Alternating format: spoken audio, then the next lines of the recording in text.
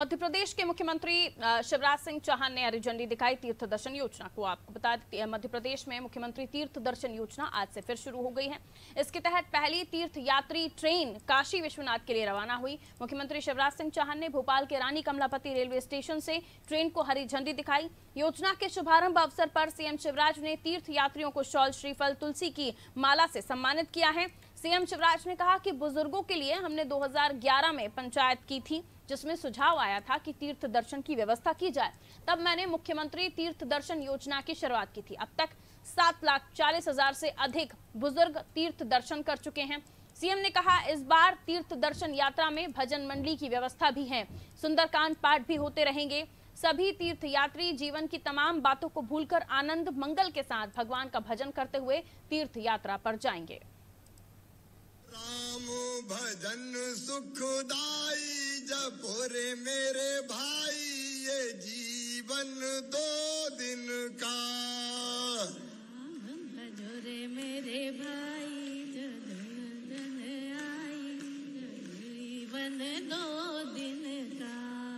शिव जी का भजन सुखदाई जपोरी मेरी माई ये जीवन दो दिन का।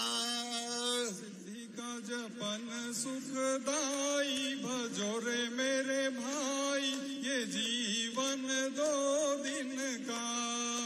ये जीवन है माटी का ढेला माटी का ढेला।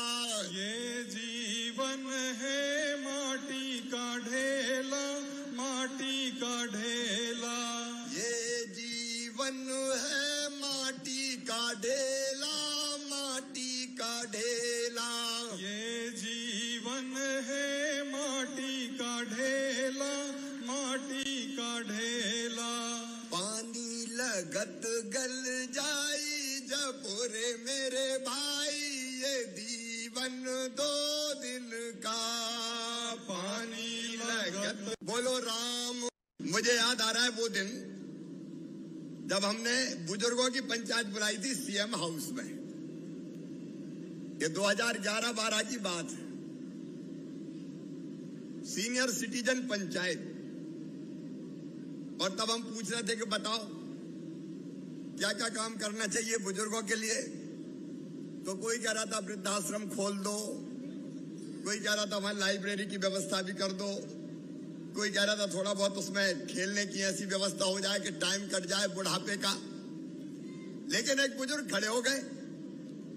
वो कहने लगे, बेटा शिवराज अरे ये लाइब्रेरी माइब्रेरी रोटी मोटी तो छोड़। तू तो मरने के पहले एक बार तीरथ करवा दे रे, बेटा, तीरथ करवा दे। बात मेरे कलेजे में बैठ गई। उनकी तरफ़ मैंने देखी।